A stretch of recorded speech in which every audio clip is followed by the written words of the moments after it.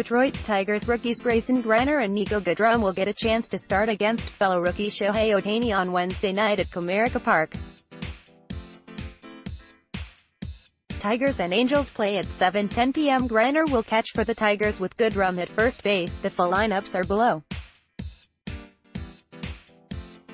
Tigers lineup Here's how we line up versus the Angels tonight.